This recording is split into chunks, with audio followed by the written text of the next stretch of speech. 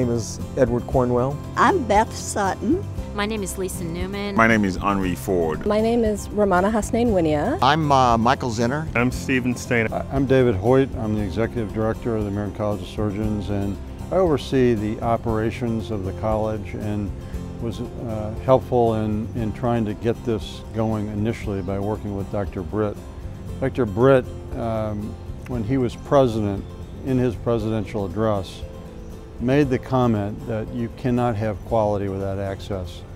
And we were starting a campaign on quality that we then ran over the next three years. And when he made that comment, it just resonated, I think, with many of us that this was a fundamental problem that we needed to address. We have a multi-trillion dollar uh, industry. No, there's no other multi-trillion dollar industry in, in America. But we have the greatest healthcare disparities of any industrialized country. That's unacceptable. Before in the literature, had always we we we always thought that it was mostly in the medical field, but never really thought that uh, in in surgery this would um, be an issue, uh, and so it was a no-brainer for me to be you know interested in a collaboration to explore further um, surgical disparities in, in outcomes. We have assembled a really outstanding group leadership from the various federal agencies that we feel could really have an impact and, and pro provide some information which will be valuable for this research agenda.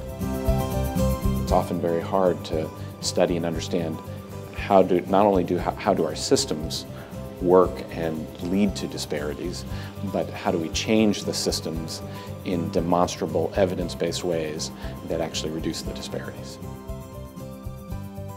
Over the last two days, we spent many, many hours trying to determine what are the most important issues that need to be studied to mitigate surgical disparities. And I'm very proud uh, to say that I think we were very successful in doing this. We started uh, in the morning on May 7th. We worked all day long, came up with nearly four or 500 different research questions that could be studied across five different teams.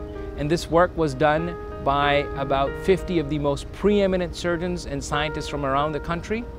And they were aided by a army of staff, research assistants, uh, and research fellows who helped get all of this process done. Those uh, research ideas, they were all collated overnight, and the next day there was great lively debate about what's the top thing to study uh, and how to prioritize things.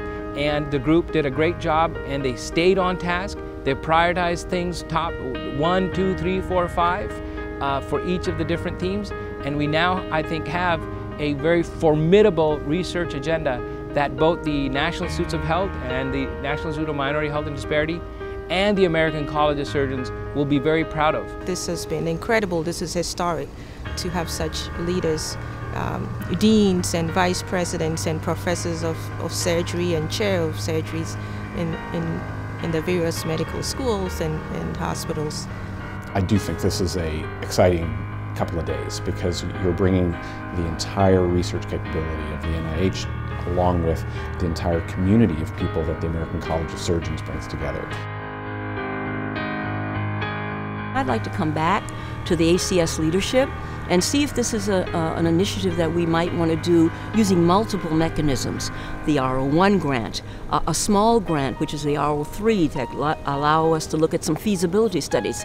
And then I'd like to see us support maybe a U13, which is a, a conference grant that that would represent a collaborative corporate agreement between ACS and uh, NIH that would allow us to develop some additional high priority areas moving forward because I don't think this is something that we can get accomplished in one, three to five years. I think it needs to be something that goes over time. So we need this conference grant mechanism or something in place that allows us to continue the dialogue.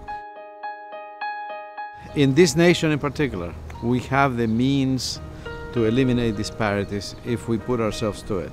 I hope this will be a template for other organizations to partner with the NIHs and maybe the CDCs and all of that. I want this to start a movement. I want this to be the beginning of a movement.